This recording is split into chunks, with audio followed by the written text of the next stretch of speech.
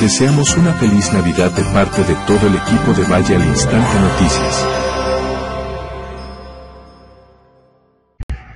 Dios y Patria, buenos días.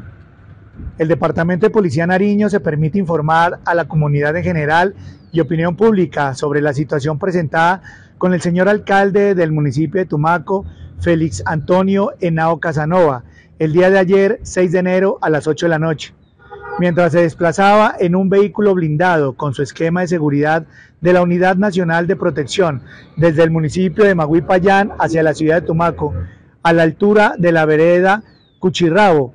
Cuatro personas en dos motocicletas dispararon en contra del vehículo sin causar daño a los ocupantes. Al momento, se desconoce las pretensiones y los autores que motivaron estos hechos, por lo cual se dispuso por parte del comando del Departamento de Policía Nariño funcionarios de Policía Judicial e Inteligencia para esclarecer esta situación. Te deseamos una feliz Navidad de parte de todo el equipo de Valle al Instante Noticias.